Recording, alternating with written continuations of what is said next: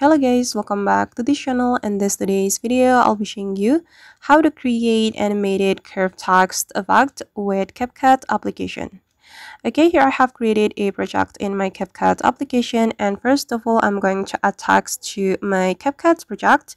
We can click on add text and here I'm just going to type curve text um, effect. Okay, and after that, we can click on the styles option and we can scroll all the way to the right to find the curve. Okay, click on this curve option and just uh, select this one. And we can adjust the intensity. And I'm going to make it um, like circle. Then we can put animation. Just click on the animation. And I'm going to select this loop animation. And here we can select the rotate animation um, wait guys i'm still trying to find it. So um, you can click on this one rotate.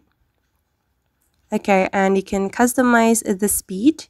I'm going to make it slower and this is the result. Okay I guess and that's how we can create animated curve text effect using CapCut application. I hope this tutorial will be useful for you. Thank you so much for watching and see you in the next video.